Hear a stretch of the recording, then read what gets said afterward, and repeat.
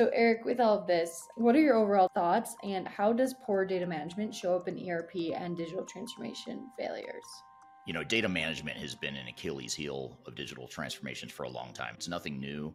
I think it's just exasperated by and and underscored by artificial intelligence. You know, now with the robust tool sets we have, even going back to predictive analytics and business intelligence and now artificial intelligence, all of those technologies are things that are very data hungry. They need data and they need good data.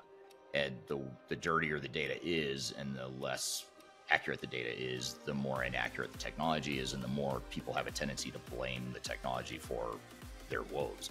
When in reality, a lot of times the system's fine yes, the system's giving you crappy information or crappy results, but it's because you gave it crappy inputs.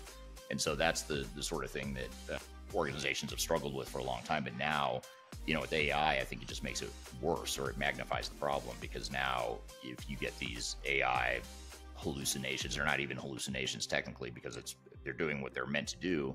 It's just they're taking the wrong data and you're training the AI models the wrong way.